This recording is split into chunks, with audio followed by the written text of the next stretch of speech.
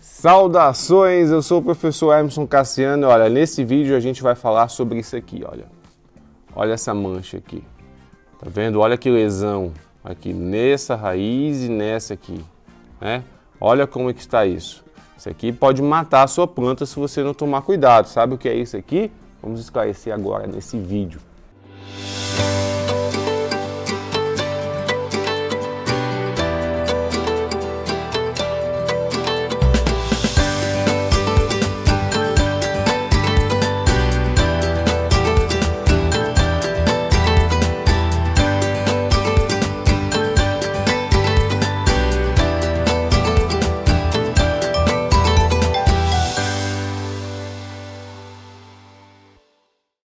Se você é novo aqui no canal e ainda não é inscrito, não esqueça de clicar no botão de se inscrever, se inscreva no canal e ajude essa comunidade a crescer cada vez mais. Olha gente, a gente sabe que as rosas do deserto são plantas de sol, não é isso? Então a gente sabe que elas devem ficar a sol pleno para que elas tenham cada vez mais flores, mais ramificação, porque o sol estimula bastante essas plantas. Mas em muitas regiões do Brasil, como aqui no Piauí, região norte, nordeste, centro-oeste também, às vezes até no sul e sudeste também, o sol ele pode ser tão agressivo assim para as plantas que até as rosas do deserto podem sentir, tá? E você deve ficar atento aí nas suas plantas para saber quais são aquelas rosas do deserto que são mais sensíveis ao sol, porque você precisa tomar cuidado, porque se você não atentar a isso, essas plantas mais sensíveis podem acabar até morrendo. Dá uma olhada nessa plantinha aqui, olha. Olha só essa situação, essa lesão aqui. Tá? Deixa eu chegar mais perto da câmera. Olha isso. Tá? Então, uma planta que está com uma queimadura aqui. Tá? Essa queimadura aqui, ela está evoluindo, porque eu deixei aqui ela numa posição, acabei percebendo agora, esses dias, que ela estava é, sofrendo esta queimadura por causa do ângulo de incidência do sol. Então, você deve ficar atento a isso, tá? Porque a depender do horário do dia, o sol ele vem assim, olha, lateralmente e ele pode incidir ali no caudex e muitas plantas não vai fazer diferença alguma, a planta não vai sentir, mas em outras você vai ter esse problema de queimadura de caudex. E olha, eu já tive planta que apodreceu as suas raízes por causa de queimadura. Quer ver? Vou mostrar agora. Essa planta aqui ela já está recuperada, tá? Mas ela sofreu uma queimadura severa. Quando eu mudei ela de posição aqui um dia, tirei ela numa determinada posição, coloquei em outra e nessa outra posição ela tomava o sol mais forte no ângulo de incidência aqui direto na raiz dela.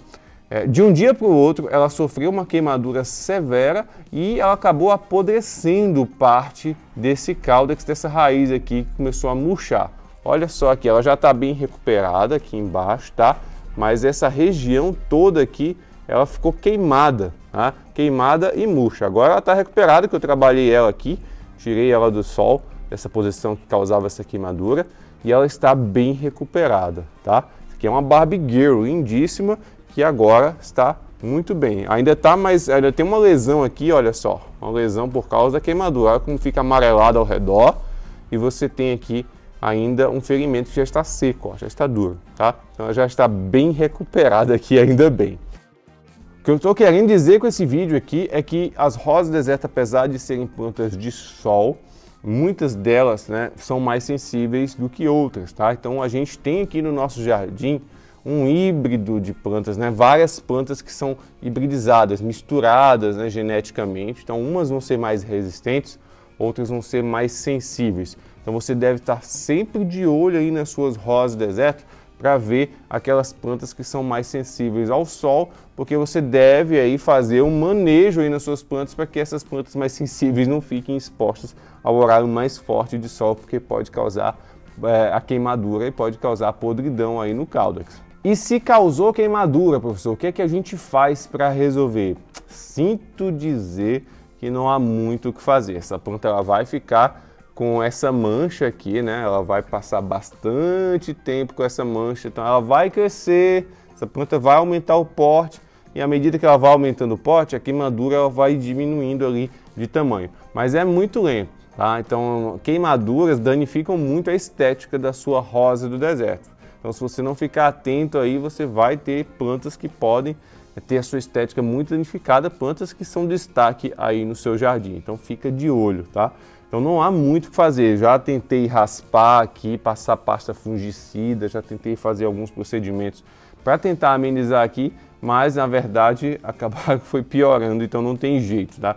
É, a melhor saída é você esperar o tempo passar, deixar essa planta aumentar de porte e não tenha dúvidas de que essa mancha aqui ela vai ficar muito tempo aí na sua planta, tá?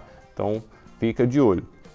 Olha, a melhor maneira de você lidar com isso aqui é a prevenção, né? Você identificar aquelas plantas que são mais sensíveis aí no seu jardim, você já observa ali aquela planta que está ficando com aquela região ali mais amarelada por causa do sol, então é uma planta que está queimando, né? Então você já vai tirar ela daquela posição. O que você pode fazer? Mudar ela de posição, colocar ela no local onde que tome apenas o sol da manhã, tá? Ou se você não tem de jeito nenhum como mudar ela de posição, você faz uma, uma saia, né? Pode colocar um jornal aqui protegendo ela, um pano, mas isso de certa forma atrapalha um pouco a estética, que a gente quer ver o caudex das nossas plantas, tá? Então o ideal mesmo é você trocar ela de posição de modo que ela não tome aquele sol muito forte aquela incidência específica que causa a tão temida queimadura de caudex. E não é só planta adulta que sofre com queimadura não, tá? Se você olhar essa mudinha aqui, olha como ela está mais amarelada aqui nessa região aqui, ó, porque ela está tomando bastante sol aqui, incidindo aqui nesse caudex e está amarelado. Já identifiquei aqui que ela está sofrendo com esse sol aqui nesse horário.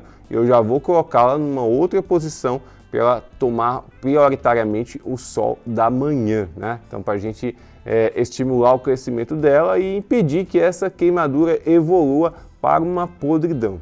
Tá gostando desse vídeo? Então deixa o seu like, ó, curta esse vídeo e ajuda a espalhar ele aí para cada vez mais pessoas. E aí, você já teve problemas de queimadura aí nas suas rosas deserto? Olha, muitas vezes você vê o caldex molinho apodrecendo e você não sabe por quê, está amarelado e não está com aquele aspecto de podre, né, marrom característico, está amarelo ou esbranquiçado, né? Então muitas vezes é um caldex que esquentou muito e cozinhou, porque aqui a maior parte do que a gente tem aqui é água, né? Então essa água esquentando muito aqui, ela vai danificar esses tecidos, causando um tipo de podridão aí também oriunda da queimadura por causa do, do excesso de sol. E é isso, fica de olho aí nas suas plantas para que elas não sofram com essas queimaduras aqui também, tá bom?